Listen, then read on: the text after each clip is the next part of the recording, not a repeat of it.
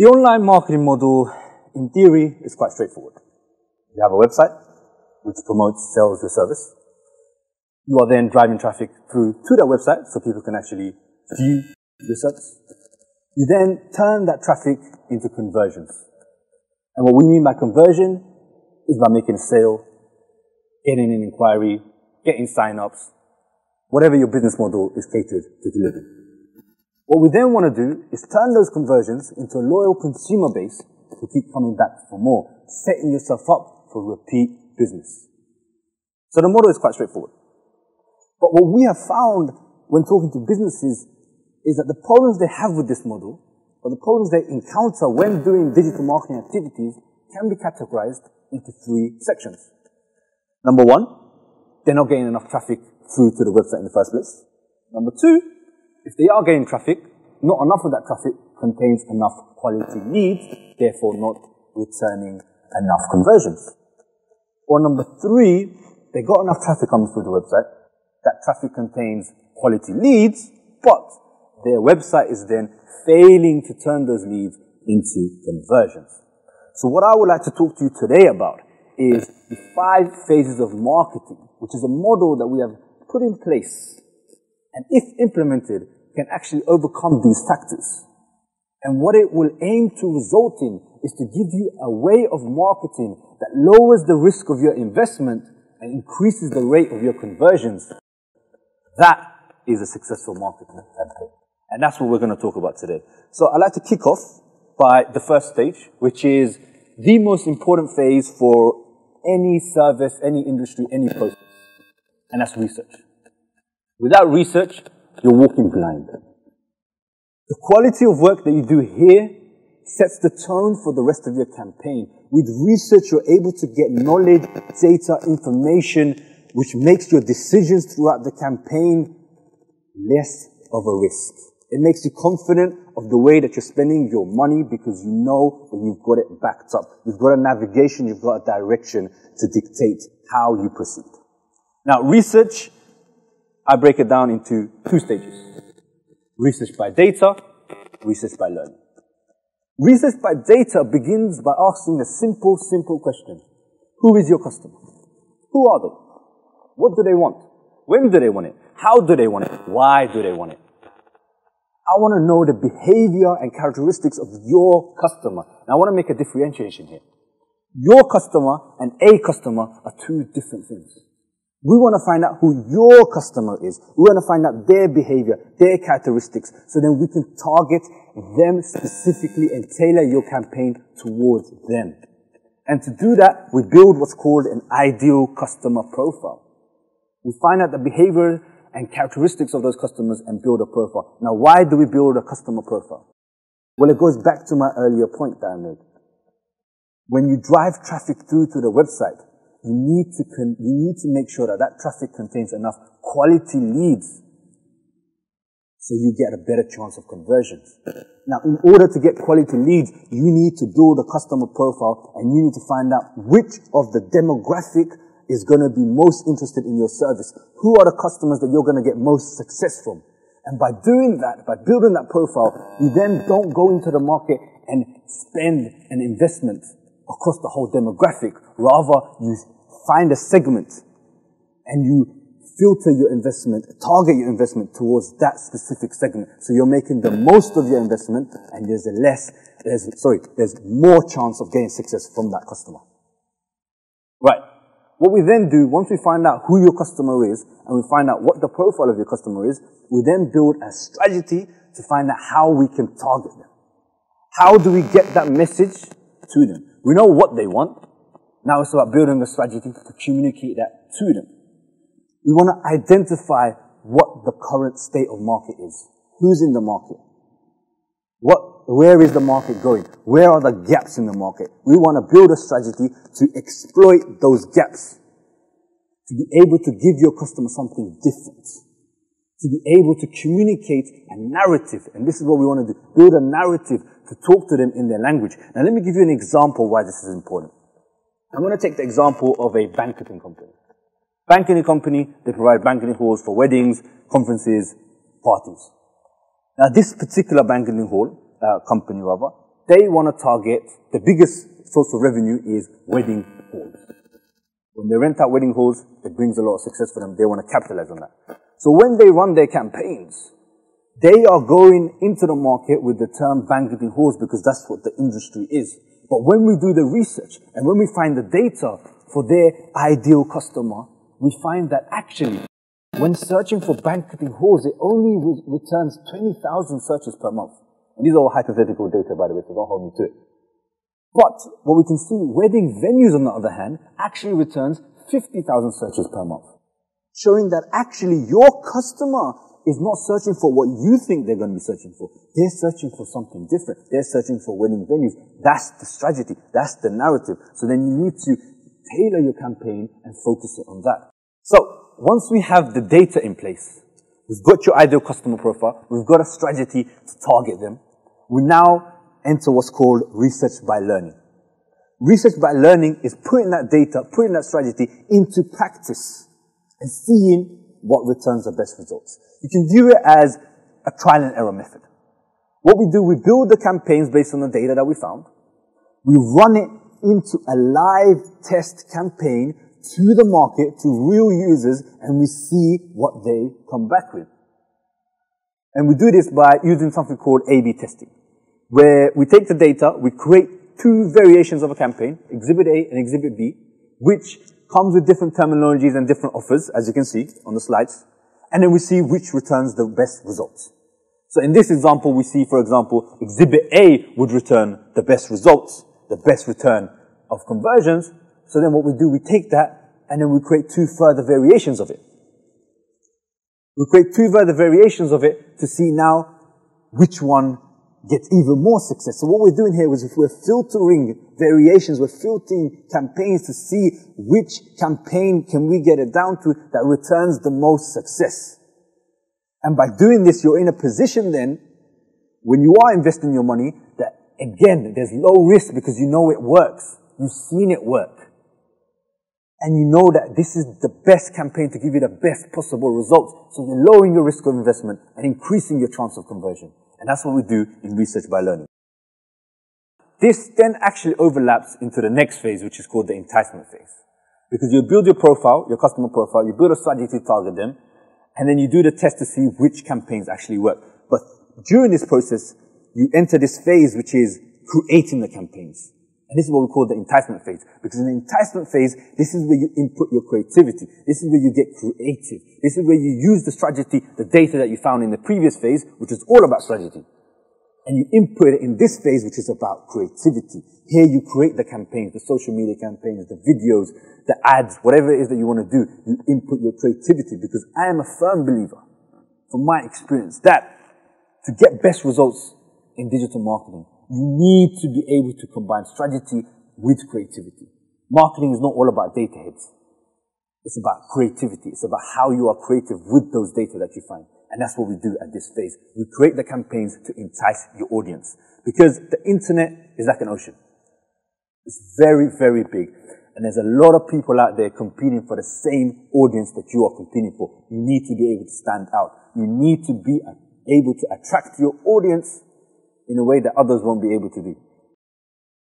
So now, we've done the research, we've found your customer, your ideal customer, we've targeted them with a strategy, we've made an enticing ad.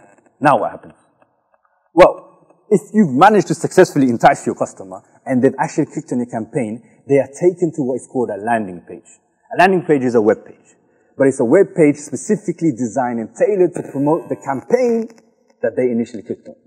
Because when the user clicks on that campaign, they clicked on it specifically because whatever it was that you were advertising. So that specific product or that specific service. They don't want to be able to, they don't want to have to then go into your website homepage and navigate through your whole menu to find that product that they were looking for. You want to be able to give it to them straight away. And that's what we call a landing page. Now, when they're on that landing page, they go through what we call the consideration phase. Because now they're in a moment of considering whether they want to buy your product or not buy your product. They've seen your campaign, they showed some interest, and they've clicked through and they want to find out more information. In this stage here, they are considering whether they want to go ahead with your service, with your product, whether they want to buy it, whether they want to sign up, or whether they want to go. And you've literally got a few seconds to convince them. Your attention spans are very, very low. You've got a few seconds to convince them to stay or go. And I'm telling you now, as a business, the sole reason they will stay and the sole reason they will go is you. You will convince them to stay or you will convince them to go. Now you might be asking, why would I as a business convince my user to get off my page in the first place? That sounds quite ridiculous. But let's think about it.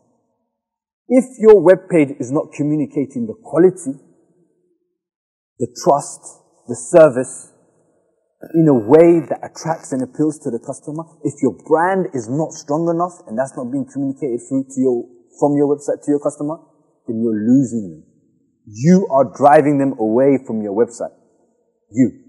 Because you haven't put the time, you haven't put the effort, you haven't put the investment into making sure that A, your brand is quality, and B, it's being communicated through to your website.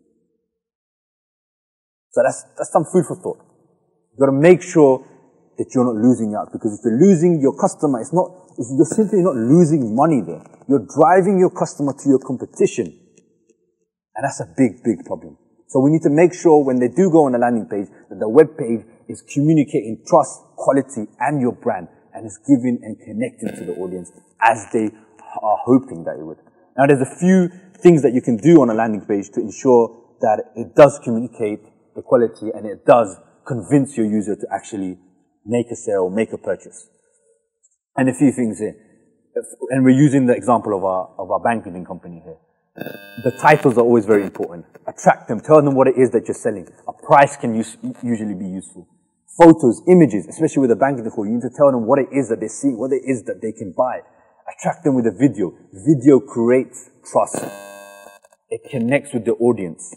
It tells them that this is real, this is, this is what they can achieve, this is what they can receive give the features of your, of your company or your product. What, why are you different? What can you give them that no one else can give them? And here's something that's very useful. We call it social proof. This is where you get endorsements, recommendations, testimonials. Show them that other people have endorsed this. Remove any doubt from their minds that this service is not for them.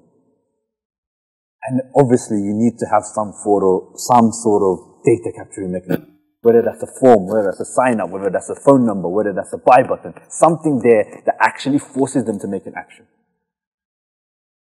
Now, if they've bought your product after this, after they've seen your landing page and they've actually gone and made a sale, made a purchase, signed up, whatever it is, then great, you've made a return on investment. If they haven't, then you can either say, well, I'll focus my efforts on the ones that are really interested in and let them go away.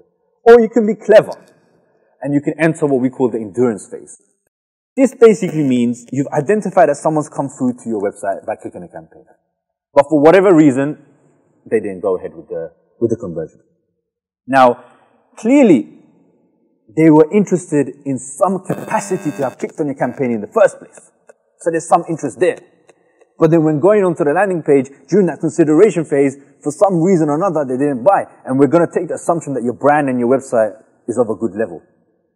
So then it comes down to a few reasons. Maybe it was too expensive. Maybe it was more of a want than a need. Maybe they didn't want it right now and they wanted to window shop. What we need to do now, and this is what we do in the endurance phase, is we then track their activity online while they're still in that consideration phase, and we then re-promote, re-market that same campaign, but now with an incentive. So wherever they go online, they will see that same campaign appear again because they were interested enough to click on it. They're still in that consideration phase, and we want to now convince them with an incentive. A few incentives we can use. Incentive of price. They saw that they saw the ad in the first place. It was too expensive, so I remarket it now with an incentive of price let's say 5% off. We can introduce the incentive of time. 5% off if you buy within 24 hours. We can add an incentive of fear. Fear of losing out. Fear of missing out. Only two products left. It creates a sense of urgency. It creates a sense of, I need this now. It changes from a want to a need. Now, if you've managed to do that, you've managed to set up a marketing campaign that allows you to identify who your customer is. It allows you to build a strategy that can connect with them and take you to the exact customer base that you are trying to target. It allows you to create exciting, enticing campaigns that attracts their attention. And then it allows you to follow up and create a repeat business model. But does it just stop there? Well, it does if you want a good marketing campaign. If you want a great marketing campaign, you enter what we call the intelligence phase. In the intelligence phase, you are able to then set yourself apart. You are able to be clever with your marketing. You're able to identify what is working in your marketing, what is not working in your marketing, and you're able to then tailor it to make the most of opportunities. You can capitalize on what's doing well and uh, as opposed to what's not doing well. And to do this, we've introduced a product called Smart Sense. Smart Sense is a smarter, sensible approach to marketing, a clever way of marketing that puts you in control of your marketing activities and allows you to see what's doing well and what's not doing well. What Smart Sense allows you to do is identify where your leads are coming from, how they're getting there, why they're getting there, what tools on your website is causing them to make a sale, to buy, to purchase, to show interest, it allows you to know what time of day they're doing it, what time of year they're doing it. It allows you to say what their behaviors are when they're on your website. And all this information, what it allows you to do is build a overview and to see and identify the hot areas. So for example, if you were a clothing store and you were able to see that baseball caps went off the shelves like fire during the summer, and you saw actually when you analyze that data, you see that the most amount of sales, 80% of your sales were coming between Friday evenings and Monday evenings. And they were being made by males. Now you've got a product that you know is doing well. You know what time of year is doing well. You know what demographic is actually interested in it. What you then do is cater your marketing efforts and you target that. You capitalize on momentum and you make sure that your investment now not being spread over the whole year or seven days a week. It's more focused on the summer period during those specific times, Friday evening to Monday evenings, to, to that specific demographic, talking their language. You're now setting yourself up to get a better, productive, effective marketing campaign you're setting yourself up to get the most of your investment, and that's what Smart Sense can do. Smart Sense can allow you to be clever with your marketing. It can allow you to be clever with your money. And at the end of the day, what it does and what this whole process does, it goes back to what I was saying. It lowers the risk of your investment and increases the chance of conversion. And that's what a great digital marketing campaign does.